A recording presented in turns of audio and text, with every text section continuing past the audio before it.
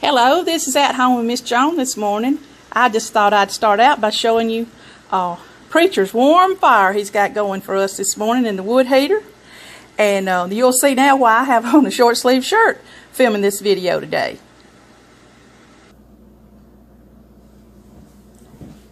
Hello, this is At Home with Miss Joan this morning.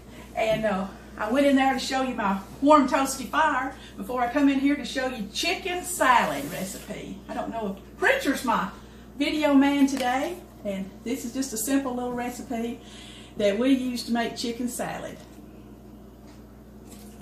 Uh, it's just chicken, boiled eggs, mayonnaise, uh, sweet pickles, apples. I put a little sweet and low in it. You can use sugar and mustard. So uh, let's get going. If you'll remember on my um, chicken dressing recipe, I told y'all if you would cook up chicken way ahead of time and keep it froze with the broth with it to keep it moist, you can make all kind of recipes. And so this is just one of the many recipes. And maybe sometime or another I can link all the recipes together that I videoed out of just freezing your chicken and having it ready to go.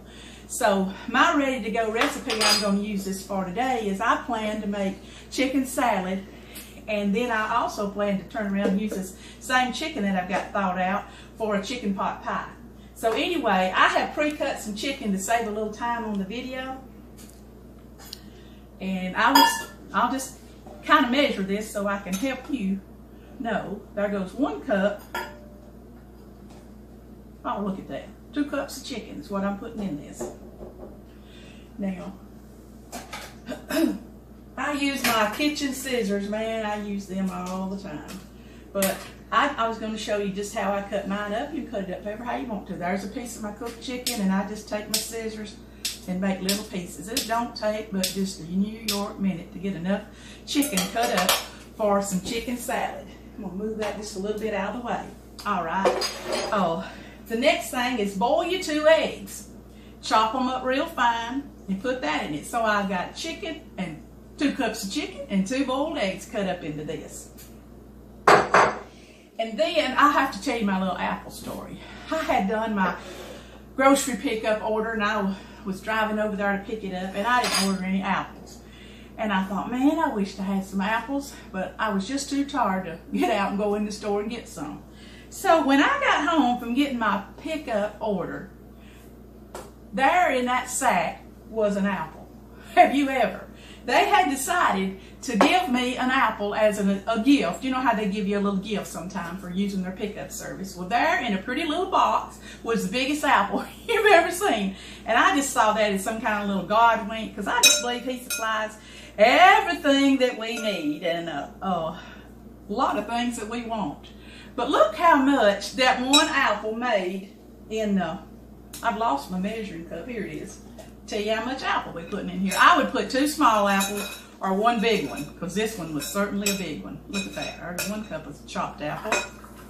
Wow. So we got uh, two cups of chicken and two cups of chopped apple, which to be about two small apples. So um, I'm just stirring this up. This is going to be a wonderful for my daughter, who's a school teacher. She'll swing by here this afternoon, you can be sure of it, after school, and she'll see kind of what we got for supper. But I'm going to have her this little surprise because she loves to take this for her lunch, and, and she's going to be tickled over this chicken salad. She don't know anything about it. All right. Now, I add some uh, sweet pickles, and I've already told you these are my homemade pickles. But you can get, I like that brand Mount Olive sweet gherkins and you chop them up real fine and use that juice and it's a good sweet juice. It's not tart like some of them. Okay, I'm to put a teaspoon of chopped sweet pickles in here. And uh, that was kind of a heaping teaspoon. And I can see right off by stirring it up that's not enough. So I'm to go in here and put another one. And I'm to pour a little bit of the juice. Whoa, that's to make it so good really I would say uh, you need about two tablespoons of your sweet pickles. Don't turn your nose up at these sweet pickles. It makes it so, so good. We got chicken, boiled eggs, and pickles and apples in here. And now it's time to add what we're going to make for our sauce. I'm just going to use mayonnaise and mustard and some sweet and low. And uh, let's see about the mayonnaise. All right. I'm going to start one, two, three. I'm going to put four tablespoons in right now. And look, I don't know, preacher. Preacher's my video man. And can you see that, preacher? And it's okay if you talk to me as we go. They know we just home folks, but we're not professionals by a long shot. But it again, it's to mix it up to the creaminess that you want. And then I'm going to add some mustard. Now, I think I measured it off one time and it was a fourth of a teaspoon. Of course, it matters about how tart that you want. So, I'm putting a little mustard in there. That might have been a whole teaspoon, but mustard. So, I got chicken, boiled eggs, mayonnaise, of course, my salad pickles with the juice, apples, and now I'm going to give it a little bit of sweetness by adding some sweet and low bun with taste of it first because these apples are sweet. Mmm, that's good all by itself. So,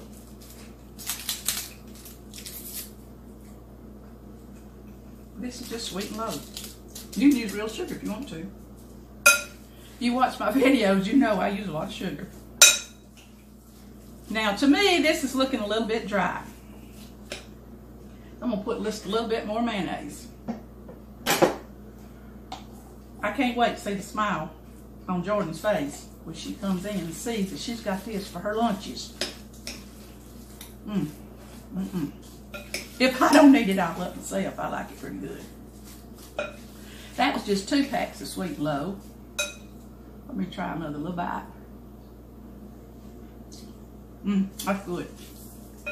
I'm gonna put one more pack. I believe three packs is enough for this. It just gives it just a little bit of sweetness. We are adding any more calories. I'm talking with my mouth full, excuse me. All right. Let me see what I can get up here to dump this out in so you can see it. I mess you up, preacher, by standing up. I just wanted them to see it. Oh, you can serve this on a bed of lettuce. Mm-hmm. Why don't y'all comment down below all the ways you make your chicken salad? Mm, grapes is good. I know a lot of people use grapes and pecans. Just anything you got. Some people like dill pickle instead of the sweet like we do. Here it is. Now, I didn't peel the apples. Did you notice that? I like that red color in there. I'm a sucker for how things look too, as well as how they taste. But um, right here this morning, I know the table looks a little messy for me. Can you get a shot of that, preacher? Here is homemade chicken salad. Good in a sandwich, on crackers, just any way you want to do it. Made out of some chicken I already had cooked and froze in my uh, freezer. So I can make it anytime I want to if I got an apple, and the Lord supplied that. You learned it right here at Home with Miss Joan. Thank Preacher for videoing for me today.